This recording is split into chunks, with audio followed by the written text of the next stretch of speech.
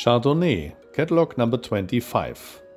This dark bay colt is born in March and bred by Champagner, Sanamu 1, Comics, and Caletto 1. Chardonnay is an interesting colt by the former vice Bundeschampion Champagner.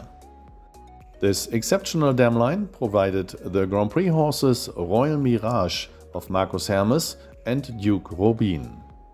Further, the Intermediate 1 successful horses Supremont, Summer Rose, Standing Ovation, Dieter, and Don Rubino.